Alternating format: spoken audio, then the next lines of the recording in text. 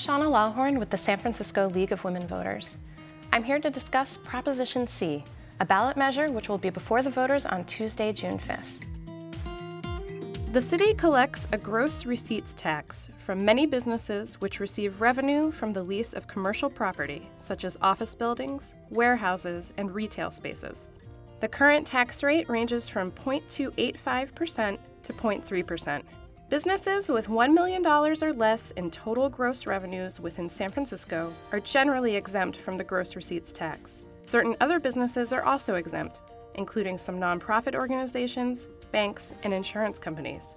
Propositions C and D concern the same tax. If both measures are adopted by the voters, the one with the most votes will be enacted.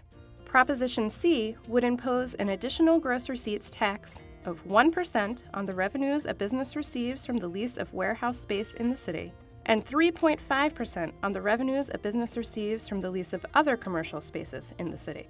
This additional tax would generally not apply to businesses exempt from the existing gross receipts tax. It would also not apply to revenues received from leases to businesses engaged in industrial uses, some retail sales of goods and services directly to consumers, or arts activities. This additional tax would also not apply to revenues received from certain nonprofit organizations or from government entities. The city would use 15% of funds collected from this additional tax for any general purpose. The city would use the remaining 85% of the funds from this additional tax for quality early care and education for children from newborns through age 5 whose parents are very low income to low income, quality early care and education for children from newborns through age 3 whose parents are low to middle income and do not currently qualify for assistance. Investment in services that support physical, emotional, and cognitive development of children from newborns through age 5. And increased compensation for people who provide quality early care and education for children from newborns through age 5. A yes vote means if you vote yes, you want to impose a new gross receipts tax of 1% on revenues a business receives from the lease of warehouse space in the city and 3.5% on revenues a business receives from the lease of some commercial spaces in the city to fund quality early care and education for young children, and for other general purposes. A no vote means if you vote no, you do not approve this tax. I'm here with Sandee Blechman, Executive Director of the Children's Council of San Francisco and a proponent of Proposition C. Welcome. Thank you. We're also joined by Lisa Remmer from the San Francisco Republican Party and an opponent of the measure. Thank you both for being here. I'd like to start with Ms. Remmer. Why do you believe this proposition is so important?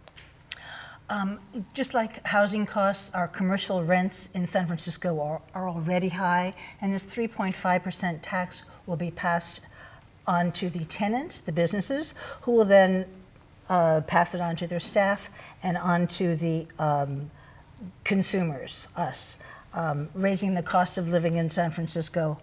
The high cost and shortage of childcare can be attributed to administrative costs of opening a bus- childcare business. Um, City Hall can help working parents by easing regulations and fees, allowing more childcare uh, centers to open. Um, what is a crisis is the uh, city budget of $10.2 billion and the uh, 88 million deficit for this coming year, rising to 800 million in three years. Uh, we just paid 77 million for uh, child care three years ago. Um, and the value of child care, mm, well, the U.S. Department of uh, Health and Human Services reported that the Head Start benefits have all disappeared by third grade. Ms. Blechman, why do you believe this proposition is so important? Parents need child care so they can work and support their families, and children need nurturing early care and education so they're ready for school and for life.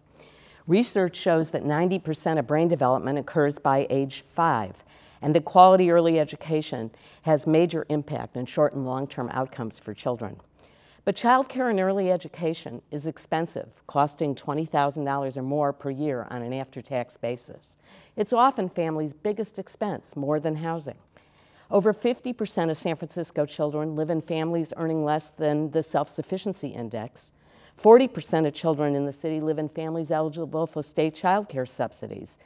Unfortunately, there are not enough subsidized slots for all families that qualify. Every month, there are 2,500 children on the waiting list for child care subsidies in San Francisco, two thirds of them infants and toddlers. A second problem is low wages in the child care sector.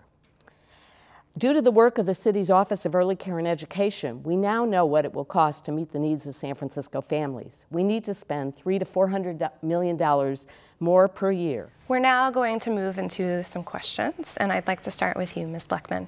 How will the voters be affected by this 3.5% commercial tax that's proposed in Proposition C?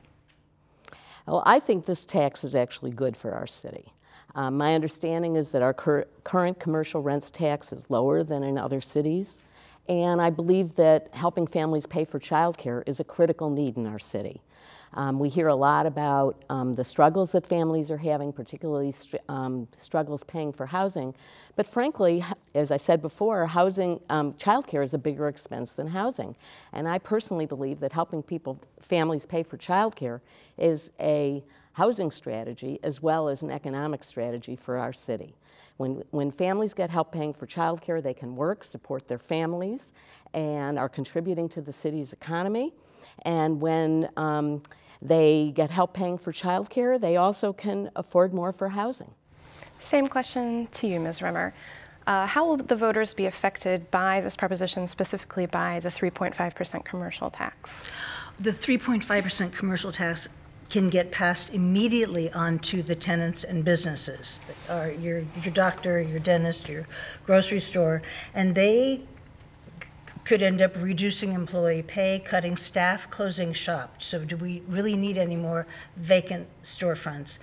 Um, and mostly the tax will be passed directly onto consumers, um, raising uh, the cost of living in San Francisco. What we really should be doing is lowering the regulations required to open a child care business, from Head Start with 2,400 regulations to be complied with to all of our local zoning and licensing fees. Um, this 3.5% tax, um, uh, and none of it helps homeowners, just makes the city even more expensive since homeowners are already paying for the last uh, tax in 2014. So I just think it's going to make more people move away and uh, make the city cost more. Okay. A second question, which um, we'll start with you, Ms. Rimmer, is what are the advantages or disadvantages to a universal child care program in your view? Um, in my view, the benefits of uh, ch early child care have disappeared by uh, third grade, and the claims of high quality child care are highly exaggerated. There's 10 studies that have been cited. Only half of them used randomized control. Only three found long-term positive results. And these took place 48 to 58 years ago. Uh, with treatment groups very small of only 60 children. They focus on infants, toddlers, not pre-K, and had a huge involvement with family, at-home family visits, which seemed to have worked out well. Um, the teacher uh, student ratio was 33 to 66 percent higher than what students are, will be getting in what the proposed programs. Teachers all had bachelor's degrees and experience, and all of the moms in these programs had IQs under 85. And they actually weren't even really random. The treatment moms didn't work, and more dads were at home. And in the final result, the groups, um, both groups, the treated and the control group, um, still only earned under $12,000 a year. The, they both had approximately like 50% arrest rates, yes, 6% less. Um, less than a semester more in school, no IQ differences beyond the differences already shown among the children. The best results were actually for the moms with IQs under 70, and who and, and the moms who were like the, the younger moms with less school. Um, the, the mothers actually in the treatment groups showed the biggest gains in lifetime earnings, even looking only from age 26 to 60, compared to looking at the children get 21 uh, to 65. The mother's earnings, lifetime earnings, were estimated to be twice what the child's were. So yes, teen moms need free child care while they finish school, but we already fund these programs. Uh, same question to you, Ms. Blechman. What are the advantages or disadvantages to universal child care programs in your view? So I'm not quite sure what, um, Lisa, you've been reading, but the research, there is a growing um, body of research that shows the long, short and long-term benefits of quality childcare for families. Um, it's been Nobel economist James Heckman has pre presented a lot of research about the long-term societal benefits of investing in early care and education, both in um, uh, immediate outcomes in, in children's ability, readiness for kindergarten, which takes a burden then off school districts, and um, in the need to provide special education and quality education, um, in long-term earnings rates for families, um, the um, involvement in the um, criminal justice system. There's no shortage of studies that show the, the, the really important outcomes that come from quality early care and education. Um, for us, we have, um, we have a situation in the city where I believe that this is really the key to ensuring that San Francisco is a city in which diverse families can thrive. Um, we have, as I cited before, we have a, we have a 50% of San Francisco families are living below the self-sufficiency index. It's affecting kids of color, um, you know, lack of access affects children of color, and it's really important that we want to we want to provide equitable outcomes for children in San Francisco and ensure that all kids are ready to learn when they come into the school district, and we want to make sure that all families can thrive in San Francisco. Thank you, Ms. Blechman. We're now going to move to the closing statements, and we're going to start with you, Ms. Rimmer. This 3.5% tax would, will be passed on to uh, the to us, the, the, customers, through the through the uh, the the, the uh, businesses.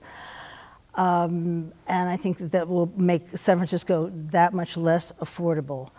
Um, again, the, the child care, the value of child care, uh, the effects disappear by third grade, except in these very few, few, few studies, which were with totally different groups of people, um, and they've been highly contested. I've read all, I've read these studies, so you know, testing moms who have IQs less than 85, that's very different. Um, and, and, again, I do think we, the teen moms do need um, free childcare while they finish school, but we have this. So let's not raise the cost of living in San Francisco with a uh, tax that just gets passed on to the consumers. Thank you. Ms. Blechman? Thank you. Um, I believe Prop C is a critical investment in the city's future. It'll raise over more than $100 million a year to support early care and education. Most of that will provide access to low-income families that are struggling to make ends meet, um, parents that can't afford to go to work or relying on family, friends, and neighbors um, catch as catch can in order to be able to do that, to be able to work. Um, we um, and it will also help us increase the wages for our early educators, ensuring that we can actually have classrooms open to serve San Francisco's children. Prop C will help families pay for care and um, early education so they can work and support their families and contribute to our economy, and it will improve long-term outcomes for kids. Prop C is endorsed by a majority of our San Francisco supervisors, the San Francisco Democratic Central Committee, the Harvey Milk Democratic Club, San Francisco Labor Council, and many others. I hope you'll join me in voting for Prop C to ensure that our city is, remains one in which diverse families can live and thrive. Thank you. Thank you both for your time. We hope that this discussion has been informative. For more information about this and other ballot measures in the June election, please visit the Department of Elections website at sfelections.org. Remember, early voting is available at City Hall starting on May 7th from 8 a.m. to 5 p.m. And if you don't vote early, be sure to vote on Tuesday, June 5th. Thank you.